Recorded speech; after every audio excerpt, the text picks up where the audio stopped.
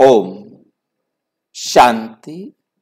सात मार्च 2022 आज की साकार मुरली का प्रश्न, इस समय तुम बच्चे युद्ध स्थल पर हो, जीत व हार का आधार क्या है?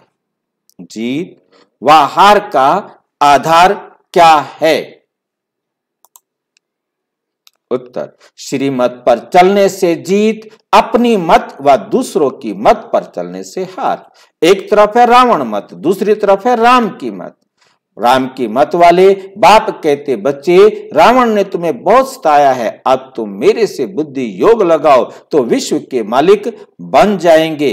अगर कारणे, अकारणे अपनी मत पर चले या खिट पिट में आए पढ़ाई छोड़ी तो मुँह माया फेर देगी, हार खा लेंगे, इसलिए बहुत खबरदार रहना है।